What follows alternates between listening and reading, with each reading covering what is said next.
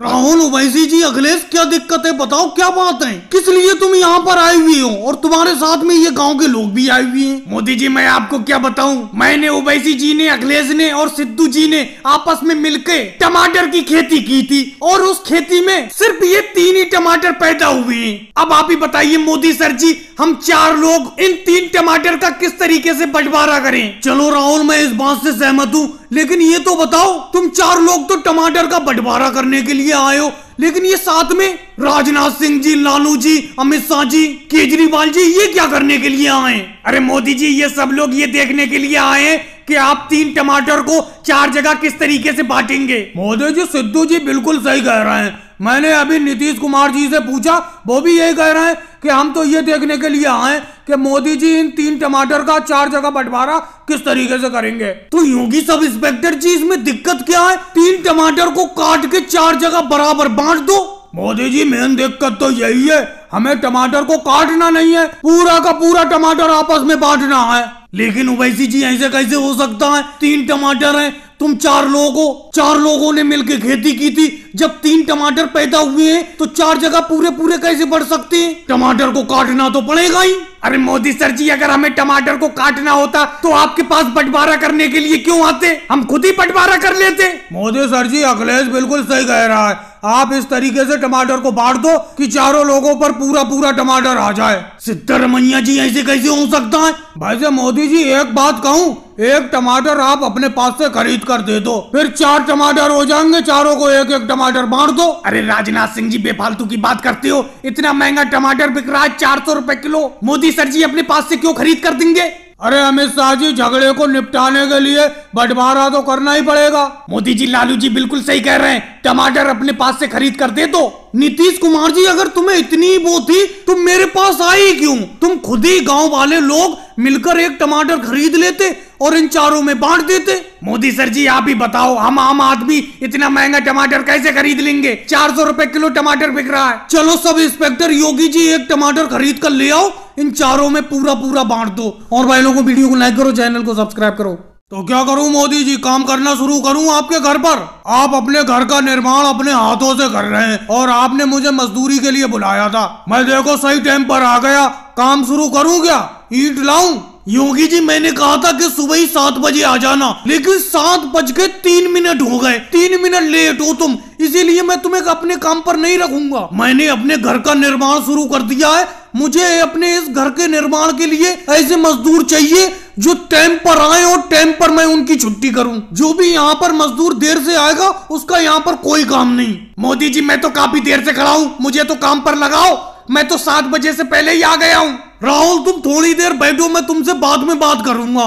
केजरीवाल जी, जरा ईट लाना। कितनी देर से मैं देख रहा हूँ, आप खड़े हुए हो। ईंट मुझे नहीं दे रहे हो। देखो, दीवार के ऊपर सीमेंट सूखा जा रहा है। ईंट तो मुझे, मैं ईंट लगाऊँ। यहाँ पर मुझे मजदूरों में सबसे अच्छी मजदूरी सिर्फ़ अखिलेश करता है। अखिलेश का काम मुझे बहुत पसंद आता है। मोदी जी, आपने बताया नहीं, मैं यूँ ही खड़ा रहूँ या दूसरी जगह काम करने के लिए जाऊँ? मेरे पास इतना वक्त नहीं है, मैं खाली अपना टाइम बर्बाद करूँ। इतनी देर में मैं दूसरी जगह मजदूरी करके काफ़ी रुपया कमा लूँगा। राहुल, मैंने तुमसे जाने के लिए तो नहीं कहा। तुम रुको तो थोड़ी देर। लालू जी, तुम कैसे खड़े हुए हो? तुम बिल्कुल अच्छा काम नहीं कर रहे हो, लालू जी। तुम्हारी जगह पर मैं राहुल को मजदूरी पे रख लेता हूँ। तुम्हें निकाल देता हूँ मजदूरी से। वैसे मोदी जी, एक बात कहूँ, ये लालू जी मेहनत तो बहुत कम करते हैं। इस घर के निर्माण में अकेले मुझे ही सबसे ज़्यादा मेहनत करना पड़ रही है। इन लालू जी को और केजरीवाल को निकाल कर राहुल भैया और योगी जी को काम पर लगा लो। अखिलेश, तुम बीच में बोलने वाले कौन होते हो? तुम जैसे कौन सा ज़्यादा काम करते हो? बेफालतू की बात करते हो। ये बात मुझे बिल्कुल पसंद नहीं आई।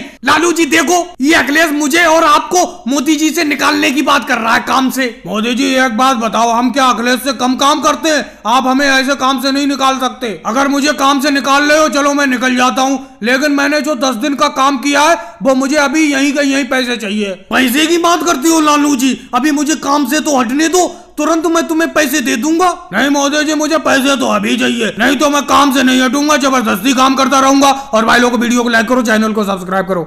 लेकिन मोदी सर जी, इसमें हमारी क्या गलती थी? जब बारिश होने लगी, बारिश की वजह से लेट हो गए हम। अब तो हमें क्लास के अंदर दाखिल हो जाने दीजिए। बहुत देर हो गई हमें स्कूल के बाहर खड़े खड़े। अगलेश तुम सब लोग दस मिनट नहीं, पंद्रह मिनट नहीं, पूरा एक घंटा लेट आए हो स्कूल तो इसके लिए तुम्हें तो पनिशमेंट मिलेगा ही मिलेगा। इसीलिए एक घंटा तुम लेट आयो और एक घंटा अब तुम बाहर खड़े रहो क्लास के। लेकिन मोदी सर जी, इसमें हमारी क्या गलती है? आप हमारी बात को समझ नहीं रहे। जब इतनी भारी बारिश हो रही है, चारों तरफ़ पानी पानी है। हम पानी से बचते बचाते किसी तरीके से स्कूल पहुँची है और आपने हम सब लोगों को स्कूल के बाहर बारिश में खड़ा कर दिया, भिगा दिया। राजनाथ सिंह जी खड़ा तो होना पड़ेगा।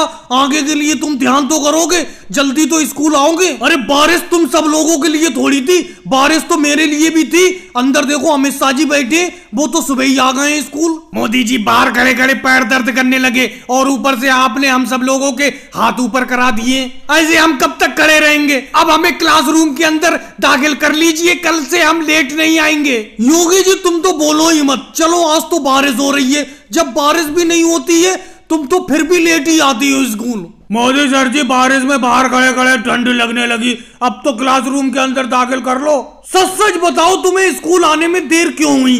क्योंकि बारिश को तो शुरू हुए हुए अभी पंद्रह मिनट हुई। तुम सब लोग एक घंटा लेट हो, ऐसा कैसे हो सकता है? मोदी जी, मैं आपको क्या बताऊँ? ये सिद्धारमैया जी हैं। इन्होंने कहा, कबड्डी का एक गेम कर लेते हैं, उसके बाद स्कूल चलेंगे। खेल खेलने लगे, उसी में देर हो गई। मैं तो केजरीवाल जी पहले ही समझ रहा था, कोई ना कोई तो वजह हुई है, जिसकी वजह से तुम सब लोग इतनी लेट आए हो। मुझे ये बताओ, तुम्हारे लिए पढ़ाई ज़रूरी है या कबड्डी का खेल ज़रूरी है? क्यों सिद्धारमैया जी, तुम तो स्कूल में देर से आई आए, इन सब लोगों को भी देर से ला रहे हो।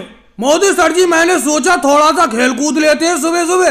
हाथ पैर मज़बूत रहेंगे। इसीलिए हम लोग कबड्डी का खेल खेलने लगे। खेलते खेलते थोड़ी देर हो गई, फिर बारिश शुरू हो गई, इसीलिए हम देर से आए। मैं तो किसी की बातों में आऊँगा ही नहीं, कल सीधा स्कूल आऊँगा, ना कोई खेल खेलूँगा, ना कुछ खेलूँगा। मोदी जी, मुझे क्लासरूम के अंदर ले लो और भाई लोग वीडियो को लाइक करो, चैनल को सब्सक्राइब करो।